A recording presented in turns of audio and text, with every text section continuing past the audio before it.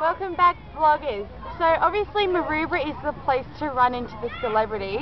Down here I have found Rod Gorman, who is the CEO of the South Sydney Juniors. So,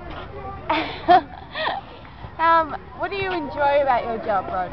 Hi Emily, my job, I've, I've been lucky enough to be involved with Junior Rugby League for the past 18 years uh, full time.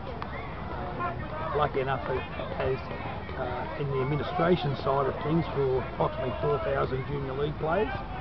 Right. We, we, play our football each Sunday in the football season, which um, goes from um, early April to right through to the end of September each year. So have you ever played the league yourself?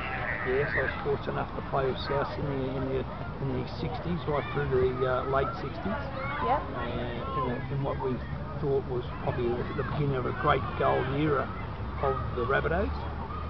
Uh, right. So, what kind of people have you played with? uh, well, I've grown up with Georgie Piggins, and we played together at South. Um, we're great friends till today.